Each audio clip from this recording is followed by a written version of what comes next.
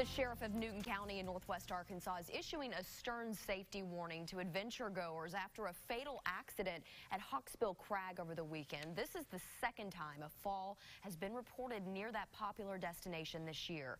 20-year-old Andrea Norton of South Dakota died after she fell about 100 feet. The sheriff says Norton was jumping from one area to another when she slipped and fell. And while the park is a popular destination for outdoor lovers, this accident is a dangerous reminder of what can happen, especially when it takes first responders to get there so long.